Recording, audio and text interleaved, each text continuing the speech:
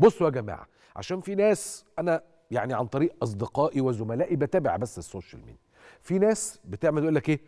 ما مصر تخش تحارب هي خايفة ولا إيه؟ وفي ناس تانية تقول لا ده مصر جامدة جدا وتقدر تخش تحارب. بصوا يا سادة المختصر المفيد والكلام ده يبقى لكل الأطراف الطرف المحبط واللي بيحاول يعني يهبل في الكلام على مصر والطرف الثاني المتحمس جدا واللي شايف إنه يلا بينا نخش والطرف الثالث اللي هو متعلق بالكيان الصهيوني المحتل نفسه.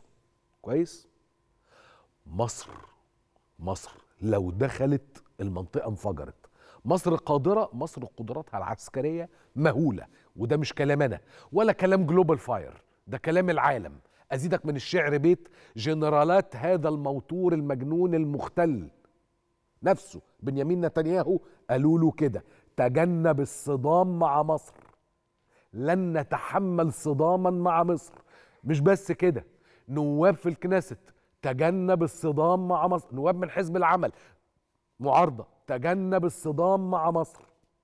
اللي عايزين نقوله للمحبين والكارهين لو دخلنا الوضع هينفجر. إحنا عملناها مرارا وتكرارا من 67 ل 73 جايبينه على حجرنا وبنلسوعه يا ترى هي لسه معلمة في نتنياهو لحد دلوقتي ولا إيه؟ يكونش ده السبب موجوع؟